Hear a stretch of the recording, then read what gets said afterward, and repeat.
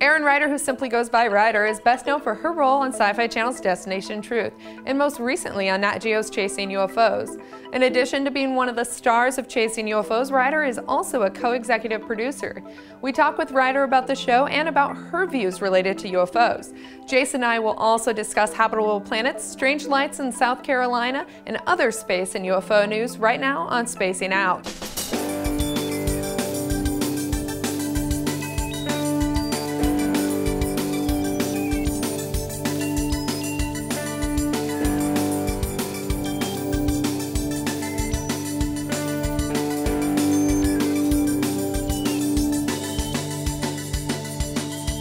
Greetings, friends, and welcome to Spacing Out. I'm Jason McClellan. And I'm Maureen Elsberry. Thanks for joining us. Our guest on today's show is Erin Ryder from the show Chasing UFOs. We'll talk to her in just a little bit. But first, let's talk about UFOs in the news. Gary McKinnon has been in a legal battle for more than a decade and has been fighting extradition to the United States since 2006. The 46-year-old Scotsman admits to hacking into 97 U.S. military and NASA computers in 2001 and 2002 in search of UFO evidence. Experts have concluded that it is likely McKinnon, who suffers from Asperger's syndrome, will commit suicide if extradited to the U.S. But as the Welwyn Hatfield Times recently reported at McKinnon's court appearance on July 5th, ministers, including Home Secretary Theresa May, want a new medical report before a ruling is made. May cited a personal concern that McKinnon had not been examined by a Home Office appointed medical assessor. London's High Court gave McKinnon two weeks to decide if he would take the medical test to determine if he was fit to be extradited. But McKinnon reportedly refused the medical test. His mother, Janice Sharp, told BBC Three Counties Radio, It is not a refusal. He had no choice. It is an impossibility because the assessment they want him to have is by someone who has no experience and wouldn't be able to diagnose his suicide risk. Three leading Asperger's experts already concluded that McKinnon was at extreme risk of suicide if extradited, and that he is unfit for trial. Sharp told the BBC, I'm sure that Theresa May will do what's right and make a just and compassionate decision now and allow Gary to begin to regain some of the life he has lost. However, the case returned to London's High Court on Tuesday, July 24th, where May announced she will make her ruling in October. The Metro reports that this delay on her decision is due to, quote, the Home Secretary's important role in the London 2012 Olympics. This is, you know, unfortunate where she's putting off this guy. I mean, this guy's life's been affected for more than a decade, and his mom is devastated by this, and she's been pleading uh, for made him just make the decision already, and she's called this, you know, kind of an immoral decision to choose a role with the Olympics over just making a decision now and letting Gary get on with his life. Right. I mean, this poor guy's just been dragged under the wire over and over again for the last 10 years. And I mean, it's one of those cases where I, it's, I'm almost sick of hearing it because right. it's like, get this guy's sentence done. It keeps dragging on and on and yeah. on, and it's always the littlest things that keep it going. It's just been ridiculous. Right. And it's pointing out a lot of issues with the extradition you know, and, rules. And we talked to Ryan Sprague a couple weeks ago on the show about not only Gary McKinnon's hacker case, but also uh, another one that happened prior to McKinnon that was dropped. And the fact that the the other guy's case got dropped and McKinnon's has been dragging on for 10 years and there's this huge free Gary McKinnon campaign right. That people are like just let the poor guy go. I mean, really when it comes down to it, maybe what he did was for the better because they're increasing security on their computer systems, which should be, you know, upgraded anyways. Well, we thought we were nearing the end of this Gary McKinnon saga, but it looks like it's continuing to go on and on and on. But we will definitely keep you posted with any updates. Multiple residents along South Carolina's Grand Strand recently observed UFOs in the sky. WPDE News Channel 15 recently aired a story about a July 18th sighting by Long, South Carolina resident Joe Kierman. He told News Channel 15 that he observed strange flashing lights in the night sky for more than three hours. He explained that these UFOs did climbs, they went to altitudes, they changed directions that are beyond physics. It's just not possible. After the story aired, other witnesses contacted News Channel 15. The station interviewed witness Bill Barrett after he posted on News Channel 15's Facebook page. He explained that the lights he saw made no sense to him. He stated, if there's something out there or it's a military type situation, who knows? But it makes you scratch your head, that's for sure. MUFON, the Mutual UFO Network, the reports indicate that several others saw the same strange lights. According to one witness report, these lights, quote, were coming from many directions and in many formations. The flashing lights reportedly occurred in many different sequences of flashes. Orange spheres and white twinkling lights were both described by witnesses. News Channel 15 reports that the Federal Aviation Administration said none of its pilots reported anything strange in the air that night. And nearby Shaw Air Force Base was not conducting training missions along the coast that night. Witnesses and officials have no idea what the lights were, but some witnesses say that the July 18th sighting was not the first time they've observed these lights in the sky, and some have even seen the lights since. There's a lot of activity in this area. You, you know, UFOs are commonly reported um, more heavily over water, over the ocean in particular. Um, but this area of South Carolina has seen a lot of recent activity. Right, and we had a former pilot, or actually maybe he's a current pilot, report lights to us that weren't able to be explained, and I don't think we've ever had a concrete explanation for within the last, I think it was probably six months ago. Yeah, and it sounds right. very similar to this case. It does, and these people who reported these lights, even after News Channel 15 reported the story, they continued seeing the lights in the sky. So it's interesting. Yeah. Uh, so they got to get more recording done. yeah, more more, more videos, more photos, more good quality, please. But hopefully, there's more investigation going on. And hopefully, we'll find out more about these mysterious lights. An ex-fighter pilot approached investigative journalist Antonio Huneeus of Open Minds magazine at the 2012 International UFO Congress and asked to share his story. This pilot, retired Air Force Lieutenant Colonel Dick French, informed Huneeus that he spent some of his military career in the Air Intelligence Security Squadron, where he was tasked with investigating reported UFO sightings. But he claims that his superiors told him to debunk these sightings however he could. Although there really is no way to confirm claims made by former military personnel like this who choose to speak out about things like this, French's story is interesting, and you can go to our website, openminds.tv, to watch his video interview where he talks about this. And we see a lot more of this with these, you know, it typically happens with older military personnel um, who finally feel that you know they might be close to death, where they feel that there's there's no reason for them to keep their secret anymore, so they start telling. We, we hear that a lot about this with um, particular Roswell inter- uh, witnesses, um, and researcher uh, Don Schmitt talks a lot about this, what he calls the the deathbed testimonies, mm-hmm. where people who apparently were active in the military at, at that time come forward, um, well, they don't come forward, but they uh, tell their story on their literal deathbeds because there's no reason for them to keep the secret anymore. Well, and then we had um, Colonel John Alexander who was trying to get uh, it in place that you know there would be sort of sanctuary for these people, military officials, and and everyone to come forward and tell their UFO stories. Right, that Am- kind of amnesty for these the, witnesses, amnesty, but you, but yeah, that, that sort of went nowhere. It caught the media's attention for a little bit, but I haven't heard, I haven't anything, heard anything more about that. And I think that's a long shot. I don't think right. why would the military offer these people amnesty for spilling military secrets? But, but again, like you say, I mean, there's no really we can confirm his ranking and, and those type of things, but the fact that he actually worked where he said he did, things right, like that. But we can't really confirm his exact story. But however, it is an interesting story, and, and I suggest everyone check out the video. Absolutely. And one more thing in this particular situation, you know, a lot of times we not a lot of times, but in, in, some of these cases where you hear people coming forward and revealing these big secrets or, or something, there's usually something else going on in the background, like a book they're trying a to book. pitch there's or something like that. But uh, you know, in the case of these people who have nothing to gain, they're just telling a story of what they allegedly worked right. on during their time. It's interesting. So definitely go to openminds.tv and watch the interview for yourself. In space news this week, researchers at the University of Puerto Rico and Arecibo's Planetary Habitability Laboratory, the PHL, recently published a list ranking the top five potentially habitable alien worlds.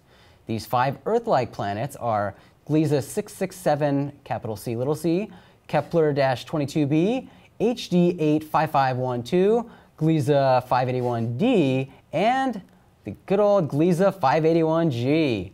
Gliese 581g tops the list as the best candidate so far of a potentially habitable exoplanet, but some scientists aren't completely convinced that Gliese 581g even exists. Mike Wall of Space.com explains the discovery of Gliese 581g made headlines around the world in September of 2010 because the planet was said to orbit in the middle of its star's habitable zone.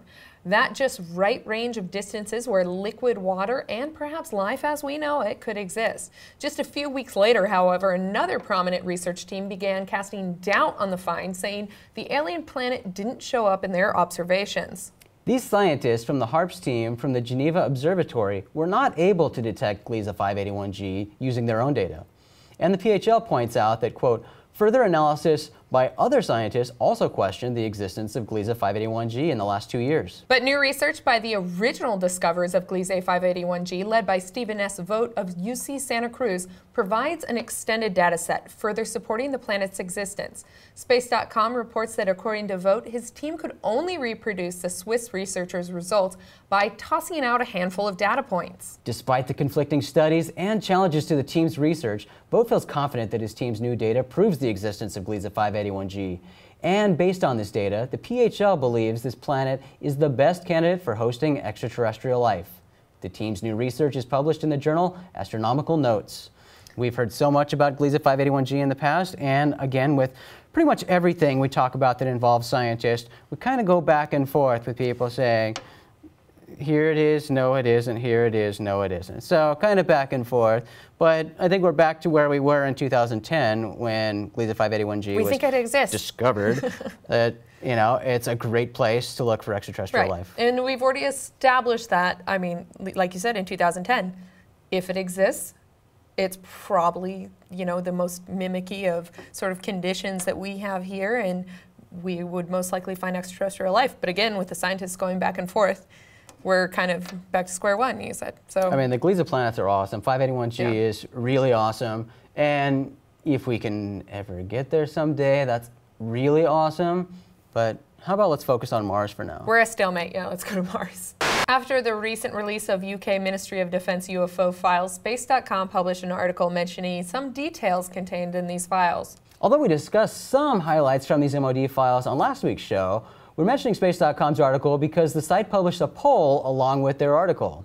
This was yet another poll asking people's belief in extraterrestrial life. The poll consisted of three possible answers to the question Do you believe alien life exists elsewhere in the universe? The possible responses were Yes, we may not have found it yet, but they're out there. No, aliens are part of science fiction, or I'm not sure. At the time of this filming, more than 8,000 people responded to the poll, with more than 90% of the respondents selecting, yes, we may not have found them yet, but they are out there. So many polls, again, polls, polls, polls, and you know, who knows what their polling pool, where it's coming from, Right. or, but I don't know. Kind of I- sick I- of polls. I'm not surprised that 90%, and people shouldn't be, and in fact, you should be more surprised that it's not higher than that. Right. I mean, then this one is centering more on extraterrestrial life as com- compared to some of those other polls which are asking about actual UFOs, where we've both discussed how annoying it is that yes, UFOs Do you do believe exist. in UFOs? Yeah. they do. We don't know if they're extraterrestrial, not all the time, kind of thing. So, and a lot of the other polls talking about extra, extraterrestrial life too also include I don't know, some of the questions are conflicting, as I mentioned before, but they also talk about alien life being here uh, and walking among us and things like that. Whereas this one, you know, being on space.com, they're very careful and they, they just pose it as, yes, it's out there, we haven't found it yet. Yeah. So they, they played it very safe, but still 90% extraterrestrials are out there. Theoretical physicist Michio Kaku appeared on CNN Newsroom on July 19th to discuss extraterrestrial life. He offered his opinion that if we encounter extraterrestrials, they're likely to be friendly. But if humans ever have to face hostile extraterrestrials in battle, he thinks it would be like Bambi meeting Godzilla. He supports this claim by stating if they're that advanced, they can reach Earth from a distant star, they are already thousands of years ahead of us technologically, and we would present no military challenge to such an advanced civilization. And although Kaku believes the more optimistic view that extraterrestrials are benevolent and will simply leave us alone, he cautions we have to prepare for the possibility that they're not. Hmm. Uh, I don't know. I, I, I see what he's saying, but you know, I tried to be funny about this as well. But I, I do appreciate eh, his viewpoint a little more than Stephen Hawking's, who is just completely off the deep end, grim, and Destru- ultimate destruction of Earth. kind of totally going to wipe us off But- the face of the earth and have no interest in being nice. I have to mention this because this was so cool. As soon as Jason and I started posting this news on Twitter, one of our Twitter followers sent us a link to this little cartoon that was literally Bambi being squashed by Godzilla. So yeah, and I think it was actually titled "Bambi Meets Godzilla," Yeah. the exact words of Michio Kaku. which who knows if Kaku's seen He could that? have based it off of this cartoon. Maybe I'd But never it's a cartoon, seen this cartoon of before. little Bambi being squished by Godzilla. So. Yeah, eh, it's cute. So it was kind of funny and very timely. But again, this is just a you know a supposition, and it's interesting. But again, it was on a major CNN show, and it's good to hear the topic being discussed at least. Well, and especially by like, I love Michio Kaku. Oh yeah, go He's Michio. We love Michio. So it's always good to hear like these very esteemed physicists talking about extraterrestrial life. And very matter of fact, I mean, he, he absolutely believes in extraterrestrial Mm-hmm. life, and he's not afraid to say it. So kudos, Michio. Now let's talk with our guest today, Erin Ryder. We are happy to be joined by Ryder on the show today. Ryder, thanks so much for joining us. Thanks so much for having me. Yeah, so uh, I personally am extremely jealous. You just got back from San Diego Comic Con. And, you know, it's been kind of a known thing in the field that there's a little bit of a difference between uh, the sci fi geek community comparatively to the UFO community. So I'm curious as to sort of what was your reception and what difference have you seen between the community at uh, San Diego Comic Con versus the UFO community's reception? You know, I think Comic Con's a real uh, open open atmosphere. I think everyone there is really excited to be there, uh, ready to engage with you know all sorts of people from from across different genres. So you go there and you're just completely accepted. It, it's it was an incredible reception for us. Everyone um, that was there to see Chasing UFOs was incredible. Uh, had a lot of compelling stories, and you know we're really excited to meet all three of us. Um, lots of amazing costumes. I was actually jealous that I didn't dress up.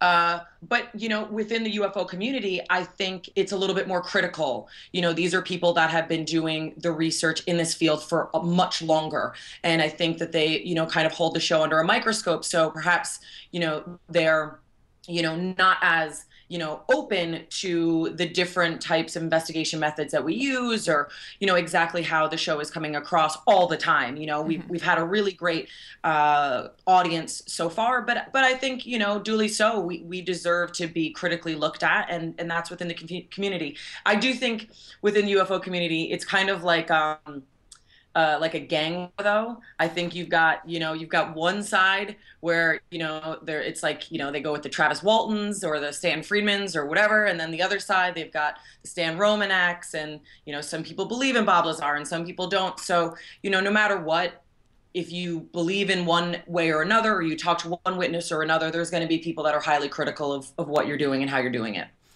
Before I jump to the next question, I've got to ask because I remember seeing this. You guys were posting this online when you were at Comic Con, and I just had to ask: You were handing out ice cream at Comic Con? How did that work? Was it astronaut ice Uh, cream? that's freeze dried ice cream, right? I, I wish it was astronaut ice cream. It was, you know, if you go down to Comic Con, you realize how hot it is. And all we wanted was kind of, you know, to meet people and have some sort of relief for everyone to be out there. We were there during uh, the Zombie Freedom Walk, which was absolutely incredible. Zombie rights for everyone. Um, and so we had frisbees which made a little bit more sense. We had some some saucers to give out. But then at the same time we just wanted to have a reason for people to come over that hadn't seen the show to meet us and to kind of open a conversation about who we are and what we're doing. And i think that was a really great way to do that. No one else down there was doing it.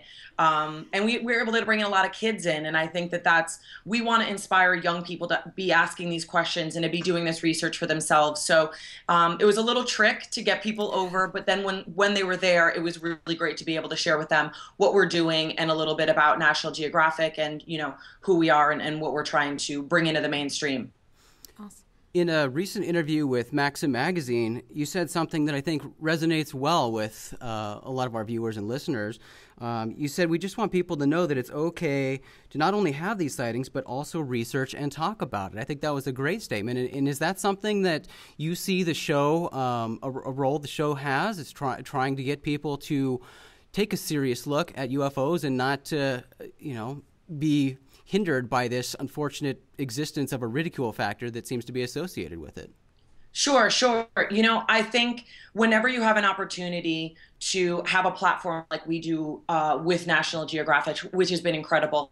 You know, we want to take advantage of it. And sure, there's going to be entertainment, and sure, there's going to be, you know, different types of investigations that perhaps people don't always agree with. But at the same time, what we want to do is our best to kind of get rid of that stigma. It, it is okay for Ben McGee to come out and talk about, you know, potential sightings in the area. It's okay for, a, you know, a brilliant researcher like James Fox to openly, uh, you know, speak with different um, you know abductees about what happened to them because you know not everyone that loves UFOs and loves the mystery behind it is wearing you know aluminum foil hats and you know staying you know in in the middle of nowhere you know in a trailer somewhere you know creeping around area 51 these mm-hmm. are legitimate researchers and i, I think that that um, needs to continue you know it's been a long time since someone outside of the community has talked about this. And i think ancient aliens they do an incredible job. I thought you know ufo hunters you know did did a really great job speaking out about it. And i think that this is just hitting a new um, age and a new demographic that can then get interested in it and talk about you know what is in space and what is in our airspace and you know what what these different sightings could mean to different people. So you know, we don't take ourselves too seriously. I don't think you can. Um, but at the same time, yeah, we have a certain um, responsibility with, you know, talking about this subject matter. And I'm wondering now, because you are kind of undecided on the show of of what to believe and, and what you do, and in the process of doing this, without giving away anything that uh, you can't. Uh, what so far has been what you feel is the most compelling piece of evidence you've seen to kind of make you think, wow, something is going on? Um, you know, it's it's kind of a culmination of things. I'll say that you know we have an episode coming up in Brazil, and we're down in Varginha um, in this crash site that people you know call the the quote unquote Roswell of Brazil. And speaking with people down there, the way that they emote about these sightings that they had, um, it, it, was it was really so captivating. I mean, there were times when you know I forgot that we were in the middle of the jungle talking to these people, you know, because you know something happened to them, and and that was really that was really interesting to me. Speaking with Travis Walton, that was the first time that I had some one-on-one time with him, and I think if you have any time with him, you'll understand that something beyond a natural occurrence happened with him. And when we were down in Texas, you know, at the Stephenville sightings and speaking to people at that town hall meeting and then going out and actually capturing footage of my own i think it's all rounded you know my uh, opinion you know slowly but surely making me think that there is something more going on here. And um, it's been an incredible opportunity. I'll say that I'm very open minded. I want to believe, um, you know, and sitting with Ben on one side of me, like they're like my uh, my angel and my devil. They're my my believer, my my my skeptic. But sitting with them, they both have such brilliant points that it's hard not to to move too way too far one way or another until we get some real physical evidence. So um, I think the eyewitness testimony was unbelievable and i think that that's difficult for some people at home to realize um, how convincing it can be without a photograph or without video you know proof. But at the same time these are people with incredible stories and i was thrilled to meet them. Um, and and that that was some of the most compelling evidence that i saw I think the show has a has a great dynamic with this trio of researchers. You know, a, a, skeptic, a believer, and an undecided. That that's a really good way to approach looking for evidence and, and approaching these different cases. Uh, you, you know, coming into this as an undecided, but with your background uh, from Destination Truth, I mean, you've seen some really bizarre things in your travels. So to me, I would think you would be more likely to believe. I'm I've I've seen some very bizarre things. I I've been blessed um, to say that I don't go to work. I go to play every day. Destination Truth was truly an incredible uh, experience and opportunity. And yeah, in fact, this season we're airing season five right now, and we go to Kazakhstan and we research some unexplained sightings uh, in that area. And and that was one of the first big sightings I've ever had. So I can't talk too much about it, but I will say that that se- severely changed my point of view in terms of what I think is going on, you know, above us and beyond. Um, but at the same time, I think, you know, Ben's kind of taught me and my family taught me that you can't go into, you know, these cases with these really strong preconceived notions because that's going to taint, you know, the way that you see uh, these people talking and you're going to negate certain details. So I really try to stay in the middle. Um, I think with Destination Truth, we've seen some strange and unusual. Um, and in, in fact, you know, there's some stuff in Indonesia that I'm, I'm, I'm unbelievably convinced that there's, you know, these these animals out there that people have not found evidence of, kind of like their Bigfoot. Um, so I do know that there's something more to the mystery than, you know, just these fables or stories that are passed down from generation to generation. But at the same time, I kind of want to ride the line until something pushes me so far over to the edge that I'm I'm I'm just I can't think any other way but you know that that there's something more there. Let's talk about the new episode of Chasing UFOs. This is the episode where you guys came to our state of Arizona, and we actually got to hang out with you for a little bit. That was really cool. Um, well, we were super excited to go to Open Minds. I think, obviously, um, people that are tuning into this have seen your incredible work that you guys do, but I hadn't been aware of the extent to which it was. So we did this really incredible tour. Um, you know, we talked to Jeff Willis, who has got, uh, you know, actually captured some really incredible video evidence that he shares with us.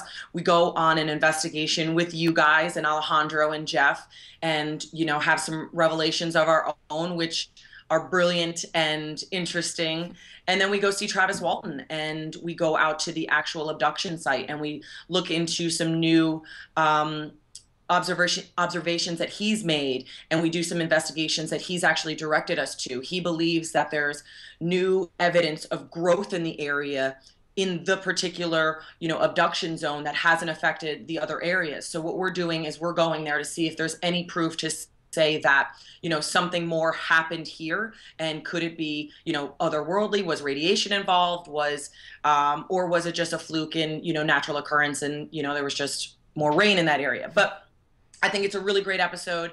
Uh, it's one of my favorites, uh, not just because you guys are involved. Before then, I think Arizona has obviously been an incredible hotspot, and I had not been yet. So for me to go there, speak to these people, you know, and go out on these investigations myself, I think it's it, it was it was a real eye opener. Speaking about uh, Nat Geo, is there any indication yet, uh, you know, how they think uh, Chasing UFOs is going, and is there any hint of a season two?